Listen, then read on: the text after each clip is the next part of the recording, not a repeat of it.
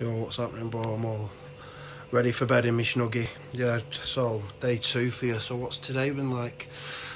Woke up, had a bit of a rough night's sleep last night, so it's a bit uh, bit off key this morning.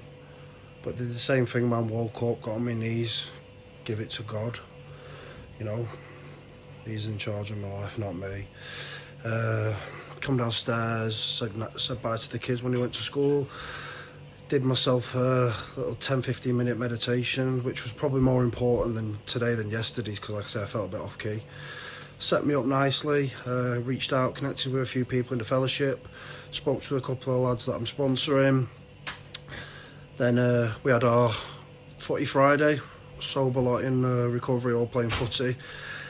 And as much as I normally enjoy it I'm gonna have to say that I come back and I was a little bit consumed with self I had to pray for some tolerance, take inventory on myself, you know, honestly take a good look at myself, which I did, you know, which I did. I'm a work in progress, I'm not perfect, but yeah, I took an inventory, asked God for the, give me some patience and tolerance, and allow myself to meet people where they're at, not where I want them to be.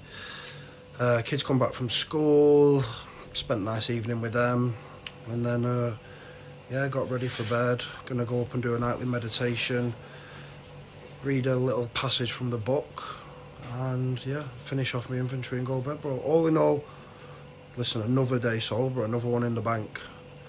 You know, it wasn't my best day. Yeah, I had a lot of intolerance in me today, a lot of impatience.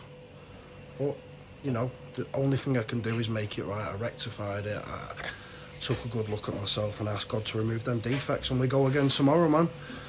So, thank you. Have a good night, man. God bless.